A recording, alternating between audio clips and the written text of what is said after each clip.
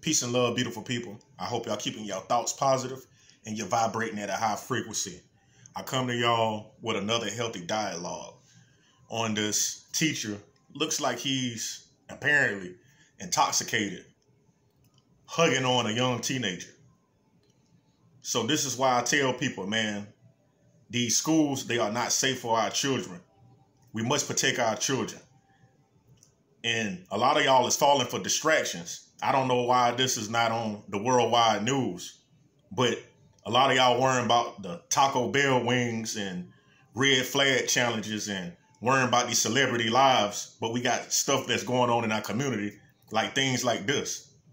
This teacher looks like he's on drugs, uh, intoxicated, and they caught him on camera. You know, another one of the teenagers recorded him and caught him red-handed. His ass need to be locked away, put away. I don't give a damn. If it was my daughter and I see some shit like that, I'm gonna knock his goddamn head off. You know, excuse me. You know, I'm just a warrior. I'm a lion. I'm gonna protect my cubs.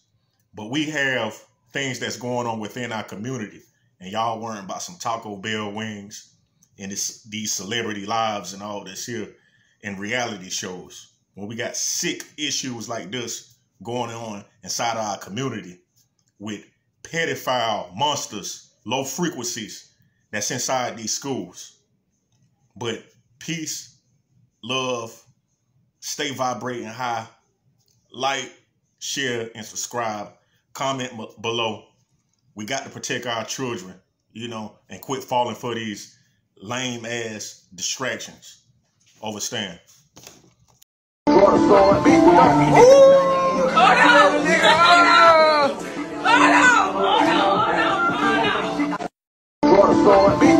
Ooh.